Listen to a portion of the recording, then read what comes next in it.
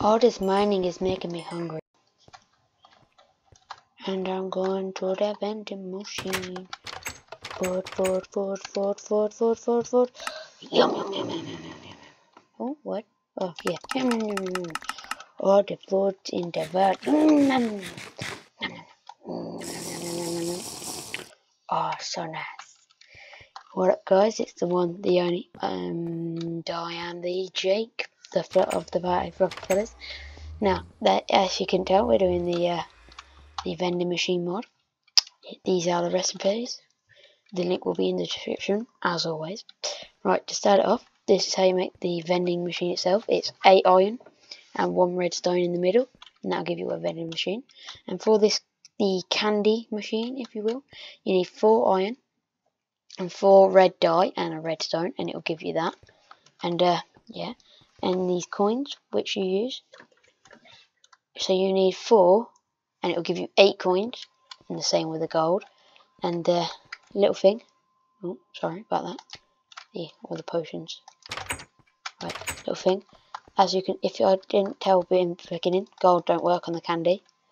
Iron does iron does gold does gold doesn't. Might want to know that. So now you know gold only works on the vending machine.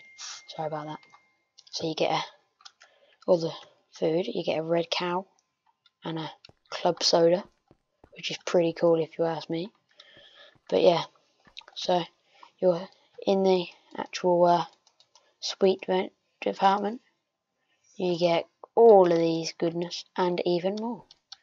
So you know, it's just if you're a bit hungry, quite cool to just have around, you know. So um, yeah, if you would like to know anything more about the mod, just type in the description. But uh, yeah, last thing is though, I have potion effects from eating the gummy bear and the drinks.